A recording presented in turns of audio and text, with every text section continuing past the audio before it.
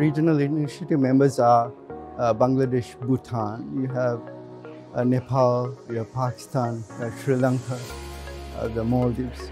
The countries are at various stages of development in the financial sector, and then we need to share this information. AFI is one of the places that we could come together to share that information. It's a platform we can exchange of ideas. Uh, we also can borrow from other various institutions. I feel comfortable in AFI. Uh, so uh, it is comfortable when we have uh, the other governors and deputy governors. Also, they shred that cloak of formality and then sit around a table and just talk to each other.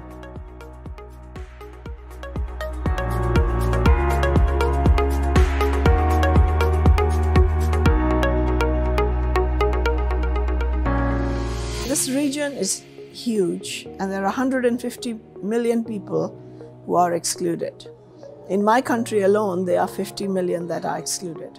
So our primary aim is to bring in women and to look at digital means of doing that. In addition, I think it's very important that we focus on climate change and particularly agriculture because countries like mine or like Bangladesh have been truly impacted by climate change. And so with the floods in my country, our aim will be try to look at agriculture and food security. And so we think this is a new initiative and we as members will do our best to take it forward.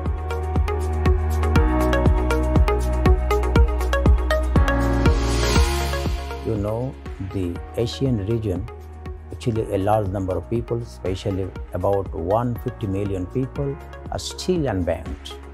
So the main target of the survey will be the to reach at those door to door to reaching financial inclusion, especially to those people who are still awaiting for getting help from the financial institution.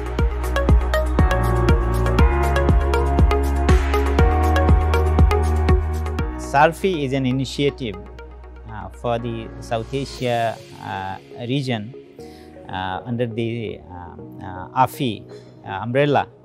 Uh, it has been established with the with the long consultation among the SARFII members. Um, we are eight in numbers at the South Asian region. it aims to, to have a close coordination among the SARFII member with respect to financial inclusion uh, so that we can uh, have a discussion among the uh, South Asian regional leaders, especially in the financial sector. Uh, we can also have interaction, we can also have a collaboration in different aspects related to financial inclusion.